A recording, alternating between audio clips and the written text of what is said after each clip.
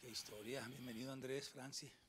Muchas Muchas gracias. gracias. Y esta por- preciosa mujer, tan bella la niña. Alison mira. Bella. Sí, nuestro, nuestro mayor tesoro. Ese es el mayor tesoro. Mira, se, se seca la lágrima, pero con una sonrisa en, la- en el rostro. Sí. me parece bien, bien especial. Bueno, lo dijo Moni. Andrés, vamos a salir de esto. Vamos a salir de esto y te vamos a ayudar. La familia Bravísima es muy solidaria.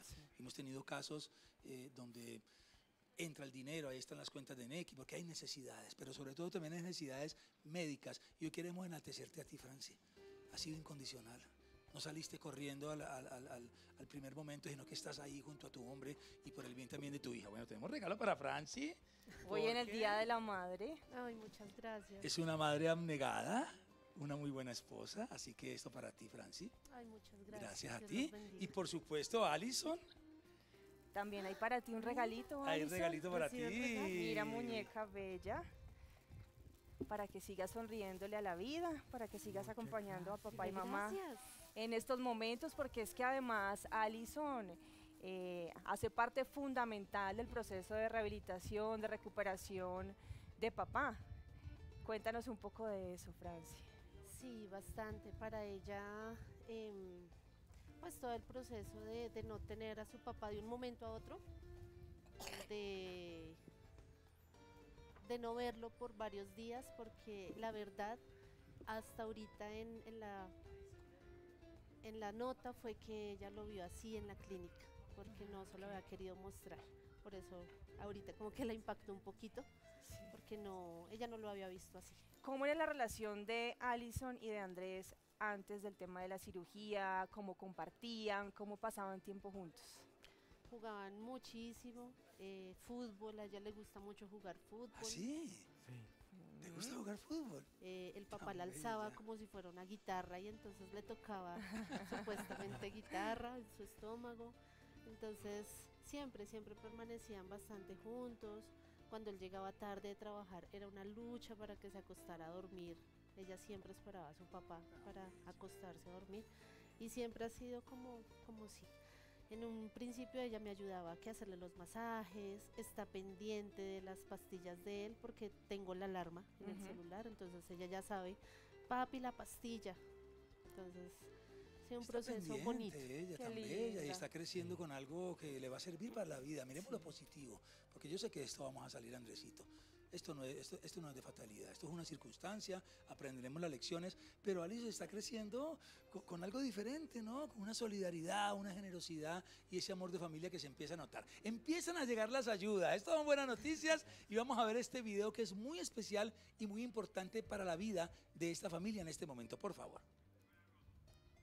Muy buen día, amigos de City TV Bravísimo. El día de hoy nos unimos a su campaña para ayudar a una persona que lo necesita en un tema de recuperación de ortopedia y de salud.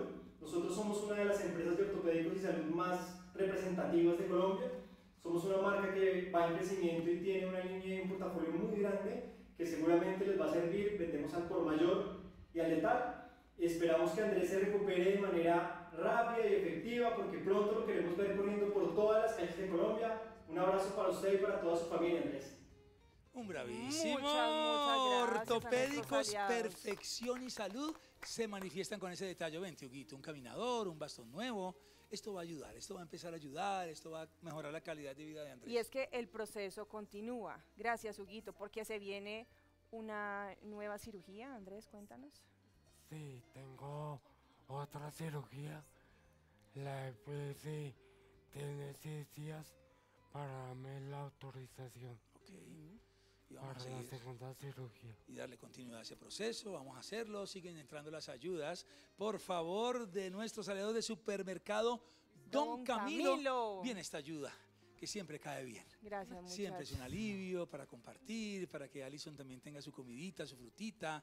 Ahí veo vegetales, veo upa. Batería también de. Mira, una batería de, de ollas. cocina. Eso me gustó, ¿eh? Qué lindo, muy bien, gracias a nuestros aliados de gracias. supermercado Don Camilo. ¿Qué dicen los médicos, eh, Franci? Porque yo veo a Andrés, dentro de todo lo que ha pasado, lo veo bien, lo veo activo, lo veo lúcido. Y es un milagro y también. eso me parece que es una buena señal.